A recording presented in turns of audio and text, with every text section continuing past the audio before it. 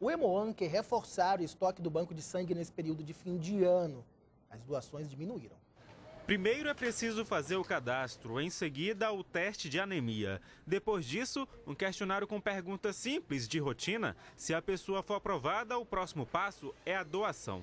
Seu José faz esse gesto de solidariedade há 15 anos. Me sinto bem, né? Ajudar sempre, tá sempre ajudando o próximo, né? E todo mundo que fez assim, acho que Nunca faltava sangue aqui dentro do Amoano. O atual estoque de sangue está regular, mas como em todo fim de ano, as doações diminuem. A direção faz um apelo. Nós estamos com o estoque regular para atendimento aos hospitais da rede pública e privada, mas nós estamos assim com ações de prevenção para evitar o estoque crítico. Então, se nós tivermos pouco doador, o que, que vai acontecer? Nós não temos plaqueta suficiente para atender a rede hospitalar. Essa plaqueta, ela só tem validade de cinco dias. O O positivo é o tipo de sangue mais procurado, isso porque é universal. Mas todos os outros também têm a sua importância e nesse período de fim de ano, a sala de espera do Hemoan está assim, completamente vazia. Doar é simples, o candidato deve ter idade entre 16 e 68 anos, pesar 50 quilos ou mais, boa saúde e não ter tido hepatite depois dos 11 anos de idade.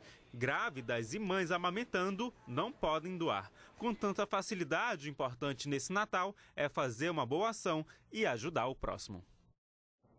Olha, apesar das lojas de roupas e sapatos estarem lotadas, as vendas nas lojas de materiais de construção aqui de Manaus não atingiu a meta esperada pelos comerciantes.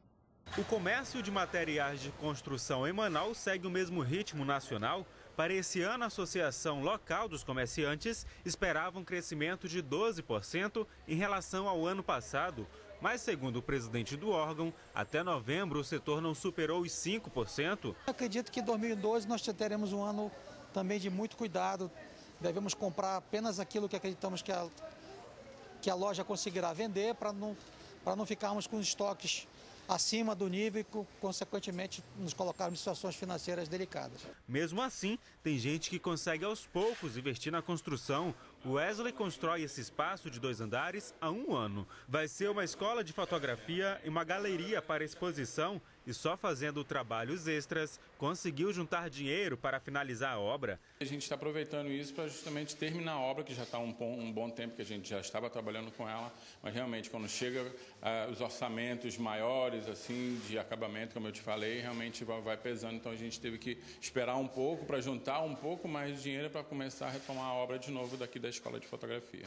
Já essa professora ainda faz o orçamento para reformar e ampliar a casa. Ela vai aproveitar o 13 décimo terceiro para comprar o material. É difícil, porque você ainda tem que fazer o planejamento, tudinho, o dinheiro, como vai dar, comprar o material, pagar a pessoa, a mão de obra, tudo isso, né?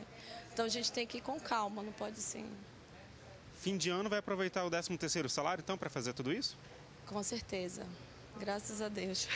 Para você que acompanhou essa edição de Jornal do Tempo pela internet, muito obrigado. A gente volta a se encontrar na próxima edição.